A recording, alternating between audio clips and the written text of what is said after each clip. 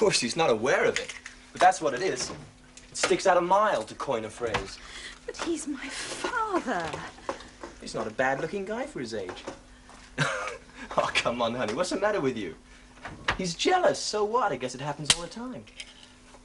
Hey, you blushing? You are. You're actually blushing. Well, now I've seen everything. It was horrid too last weekend.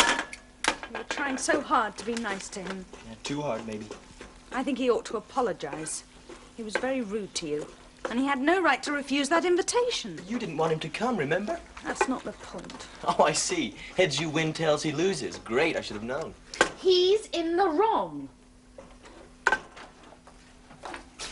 Hey, you two having a fight? I'm not speaking to him, if that's what you mean.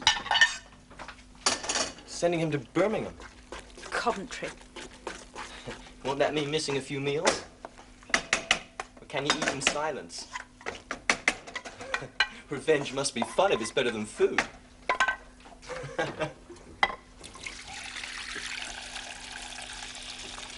He's right about one thing, though.